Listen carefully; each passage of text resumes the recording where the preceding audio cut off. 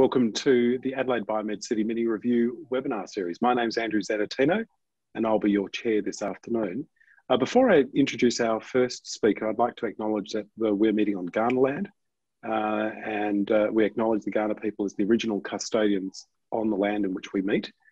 Um, I pay my respects to elders past, present and emerging. I'd also like to remind you uh, that uh, you can ask questions in these sessions and uh, there's a little Q&A button on the bottom of the screen. Uh, please feel free to click on that and ask a question of our speakers and uh, that'll give me a chance to relay those questions at the end of their presentations.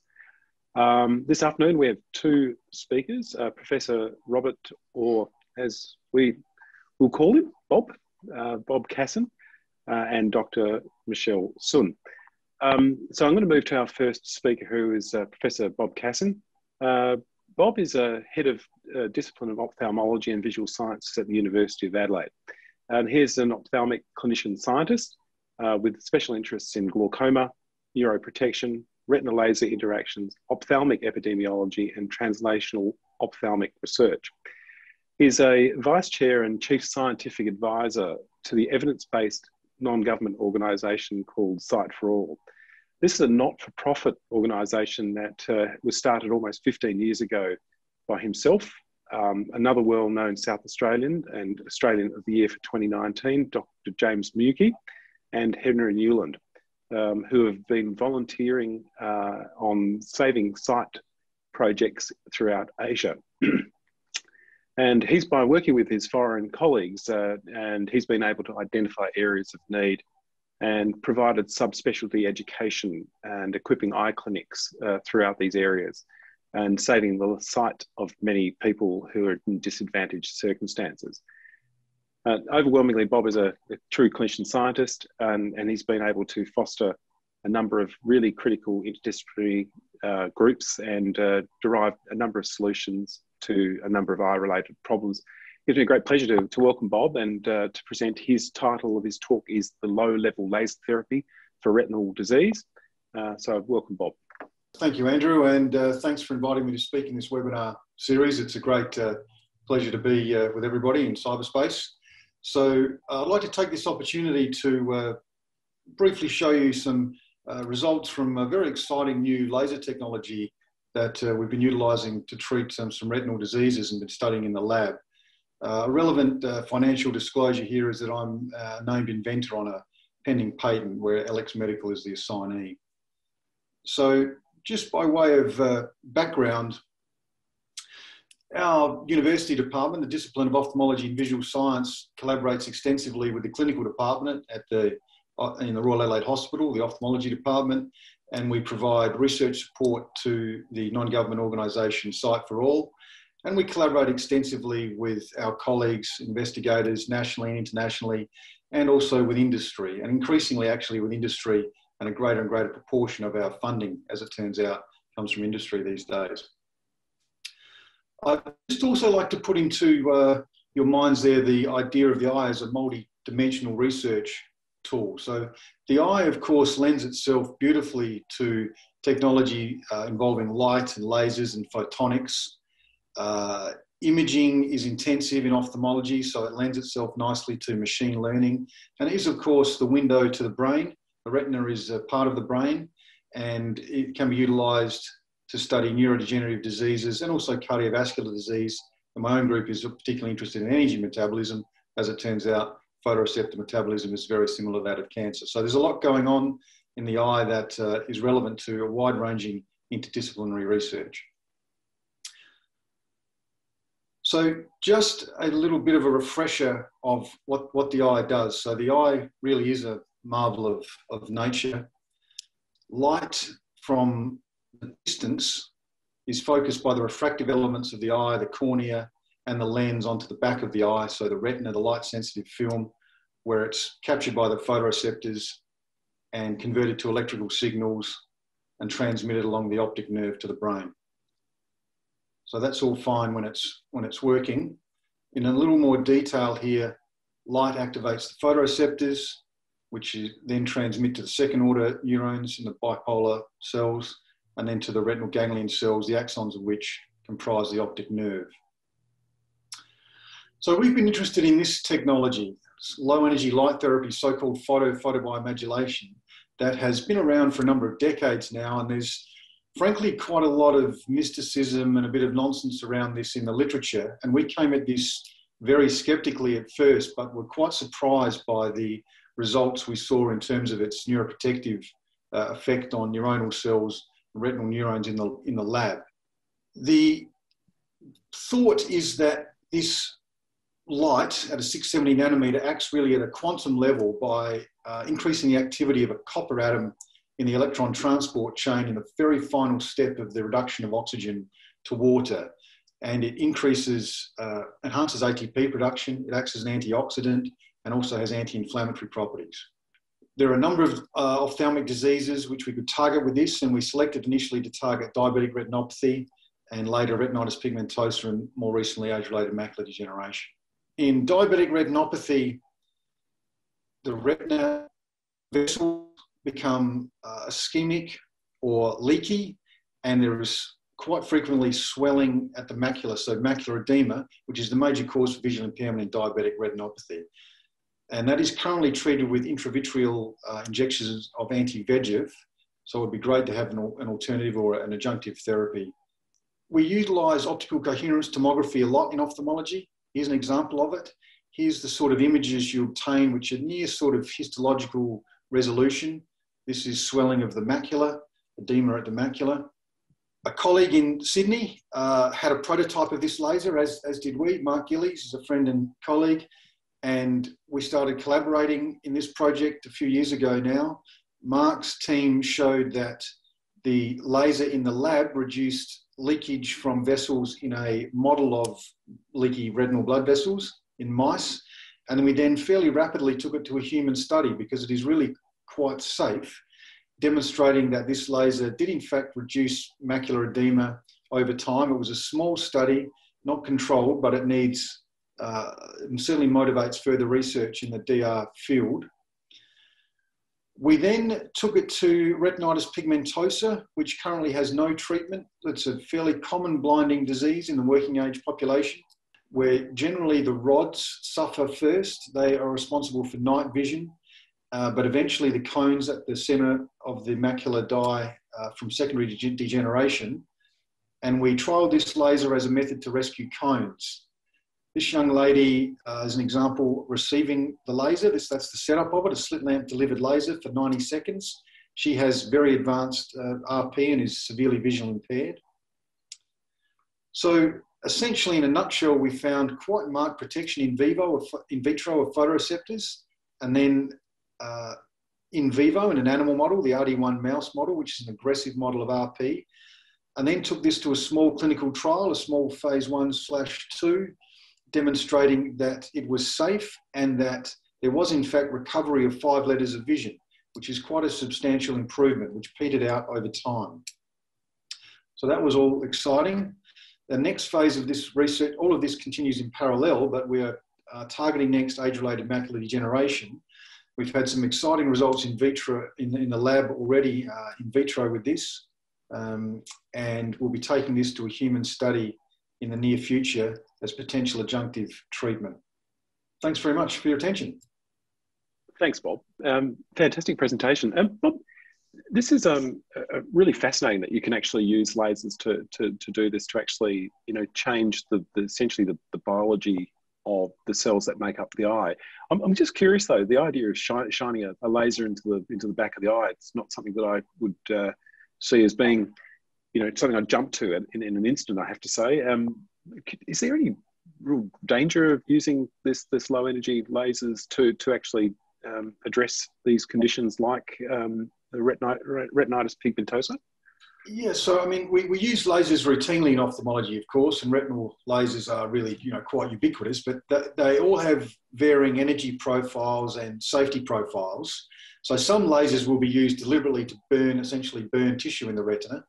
But this, this laser is basically a deep red light laser at uh, 670 nanometers at very low energy levels. And our safety studies in, in animals uh, indicate that really you have to sit the animal at this light for a very long time to cause any, any sort of injury. and really with huge energy doses, much more than we would ever deliver clinically. So it certainly seems extremely safe. You could view this laser as really similar to looking basically staring at a red light for 90 seconds, basically, right. Andrew. Okay.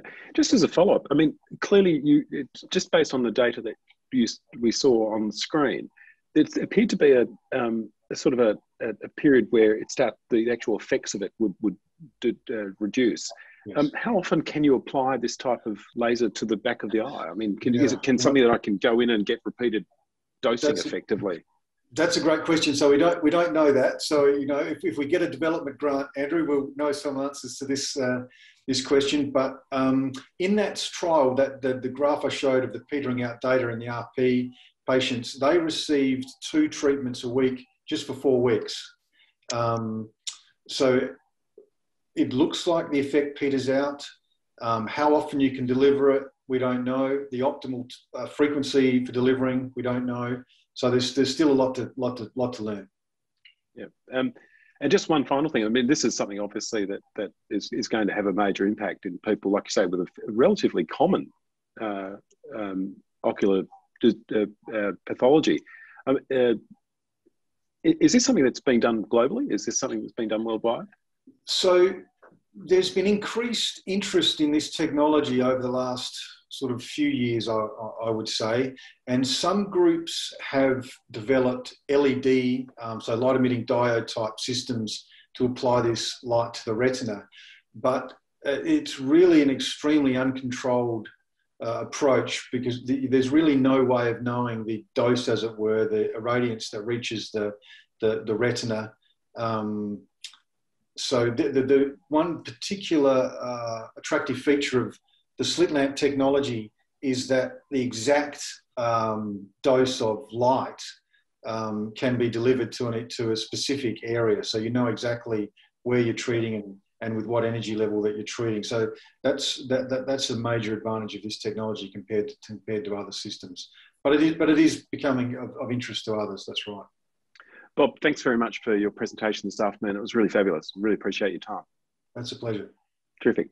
Um, our second speaker this afternoon is uh, Dr. Michelle Sun, or Sun, sorry. Um, Dr. Sun is an early career ophthalmic surgeon scientist, an incoming glaucoma fellow at Stanford University Department of Ophthalmology. And it's a heck of achievement to get that Guernsey, and I'm hoping that uh, when uh, COVID is no more an issue, that that will be something that she can uh, fulfill.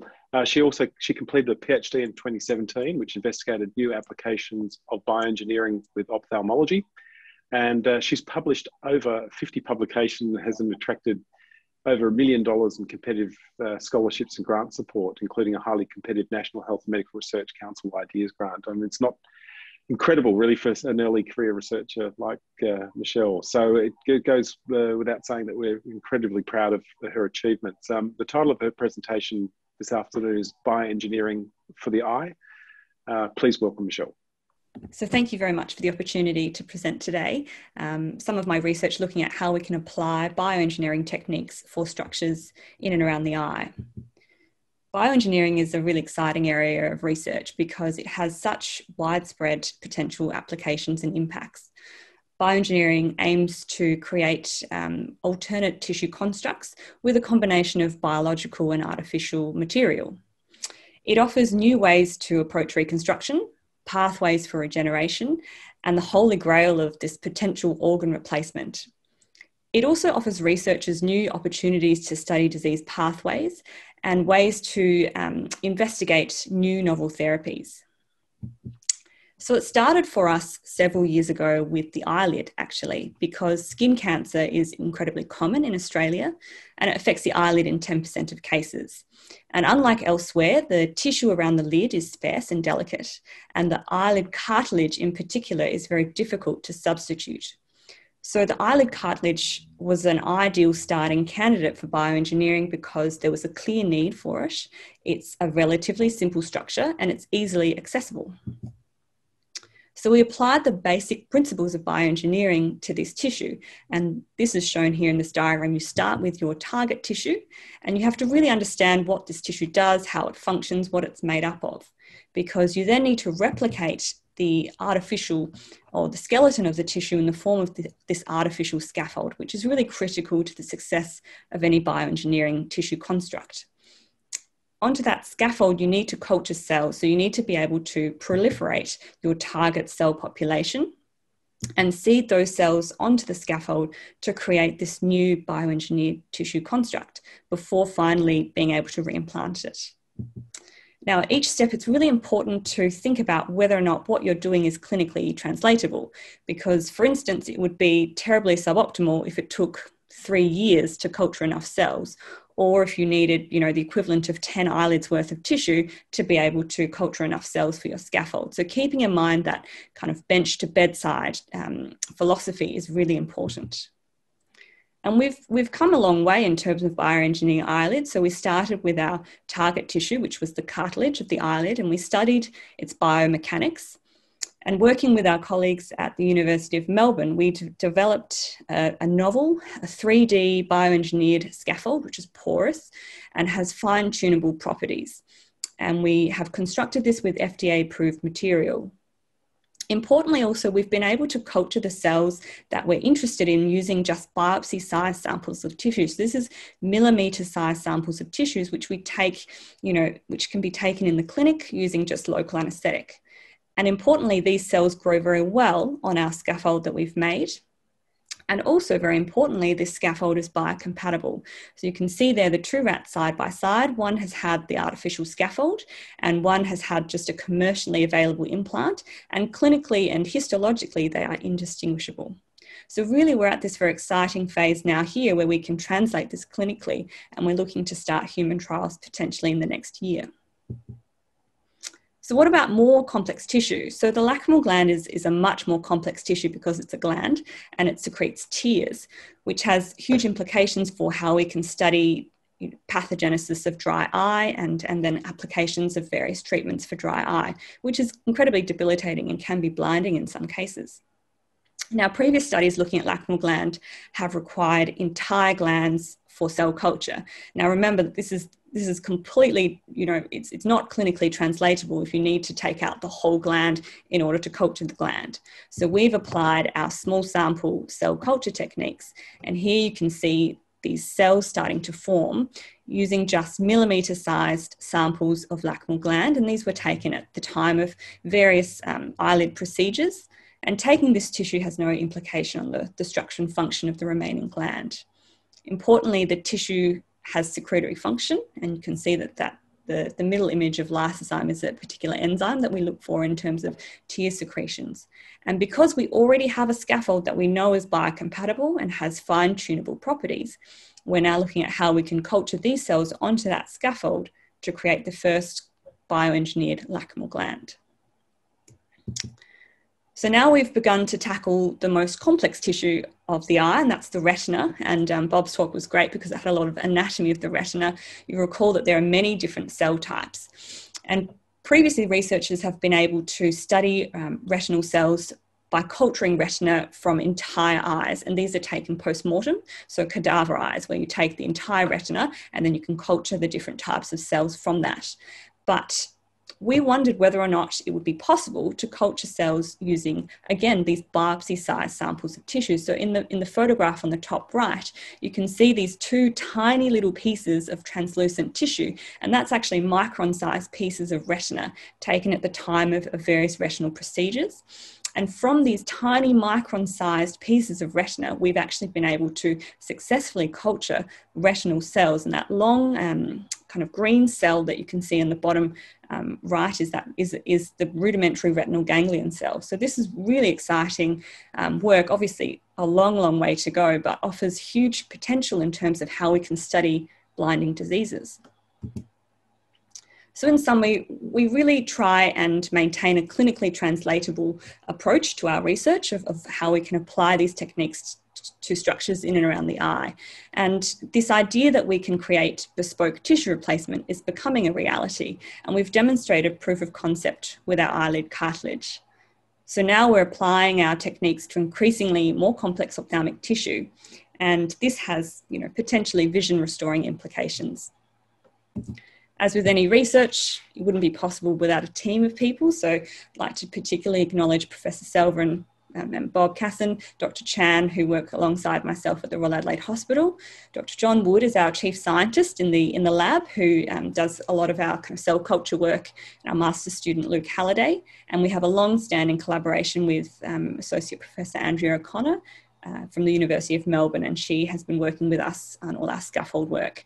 And we've been fortunate to receive uh, funding for this work as well. Thank you. Thanks so much, Michelle. Um, Michelle, that's a terrific presentation, and um, it's really incredible that uh, it's such a complex tissue that you're able, able to start to actually um, deconvolute that complexity by culturing cells from from from the eye and eye structures.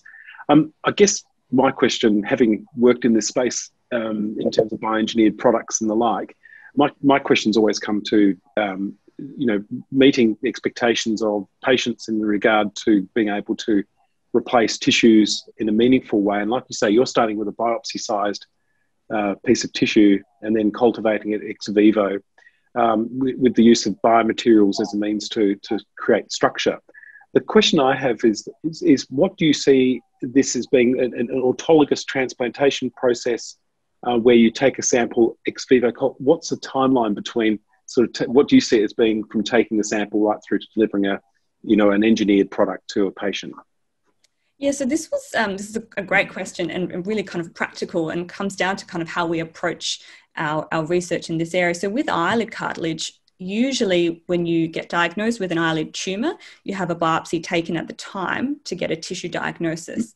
And that's an ideal opportunity, and you normally would take a little margin of normal tissue as well. So there's the opportunity to take a biopsy size sample of normal tissue and then it would take some time for the for the pathology lab to turn around that tissue to get a tissue diagnosis. And then um, then you would get a date for surgery. And that's usually within kind of it's a category two procedure. So usually within a few months if it's the type of um, skin cancer that's that's most common. So basal cell carcinoma for instance. And so we have tried to replicate that timeline by then um, culturing those cells over several weeks. And then culturing those cells onto the scaffold over several weeks. So we've kind of replicated that timeline such that by the time the patient comes for surgery in that three month window, we have a tissue construct that is ready for reconstruction. Probably a, a question which you considered deeply is, is obviously you're taking this from an, a margin, an area of, of tissue which apparently looks normal when you're proposing to culture it ex vivo. Do you do cytogenetic testing or assess that the, the the tissue that you do grow is not contaminated with any of those cancer cells that uh, that might might have got into the product. I mean, can you talk to me a bit about that? Yeah, so I mean, we're really looking at culturing one particular type of cell type, which is the structural cell, the fibroblast. Yeah. Because the eyelid, um, the eyelid heals really well, and we're only taking millimeter sized samples of tissue. So really, when you come down to clinical, the actual clinical translation, you could take a little bit of, bit of tissue either from the other lid or from yeah. kind of an, an, alternate site that's that's not exactly adjacent to where sure. the tumor is. Um, so that's certainly very possible. And in terms of the biomaterials that you're actually using, I mean, can you tell me a little bit about the nature of the biomaterials that you're using? Obviously, you said they were FDA approved. And that obviously means that the, the time from you know development right through to actually delivery to a patient is, is shortened. But can you tell me a bit about the materials that you're using? Yeah, so we're working with, um, as I said, Andrea O'Connor at the um, University of Melbourne, and we've we initially looked at a few different um, biomaterials. We ended up using chitosan. So chitosan is FDA approved. It's actually already clinically in use in various bandages. It has kind of um, antimicrobial properties, so they're, they're already chitosan embedded um, bandages and, and various, um, it's used quite extensively in tissue engineering. So the type of chitosan that we use is a medical grade chitosan um, made in Germany and it's widely used in tissue engineering studies. We've kind of edited it, and, and Andrea knows a lot more of the details, um, but we've kind of edited it in terms of its, its porosity, its, its kind of um, its flexibility, and its, its structure. And those are things that can be then fine tuned if we then want to apply it to other types of tissue in and around the eye. Fantastic. I've got some uh, questions from the audience, which is wonderful. So, from Paul Thomas, uh, question is Are retinal cells post mitotic? If so, do they need somehow to trick the cells into expanding in culture? That is a very interesting question. I'm actually not sure what the answer is for that. I'd have to ask John, John, our chief scientist. This is really these photos came to me last week. We really are at the very kind of this is this is hot off the press kind of thing. Um, yeah, I can I can certainly look into that and get back to we'll you. We'll, we'll, take that question on notice. And um, so thank, thanks Michelle for that. And I also have a question from uh, Ben Kyle, uh, and he's asked: Is there a role for reprogramming as an alternative complement or complementary approach to this? Yeah, so, so I think he's talking about IPS or something. Yeah, no, that, that's really interesting. Actually, the um, the group that I'm going to work with at Stanford is looking at how they can um, get stem cells to grow into retinal ganglion cells. Um, so that's that's a whole other area of um, of research which is incredibly interesting as well, and certainly potentially complementary in how we can apply the different types of techniques. Um, so yeah, I mean, very much so. There, there, there may be a role, and we, we, should definitely look into that. We can chat further on that, perhaps. Fantastic, thanks. Um, oh, look, uh, when are you planning to leave? Now that COVID, uh, I guess the immunisation rates. Leaving in, in a month. Well, well, all I can do is, uh, is wish you well on, on, behalf of the university colleagues and uh, and uh, your hospital colleagues. But, but we hope that you have a really successful time over there. I want to again thank both of our speakers for this afternoon. It's been a really fascinating uh, journey into the eye. Um, and so the eyes have it. I thought I'd throw that one in for, for good measure. I'm, I do apologise. It's my dad coming out of me and my jokes. Uh, before we close off, I just wanted to remind people that these uh, mini reviews are actually recorded and are available on the ABMC website. So if you uh, go to the ABMC website, uh, which is Adelaide, www.adelaidebiomed.city1word.com, under the banner of webinars, uh, you can actually watch this webinar as well as previous past recordings.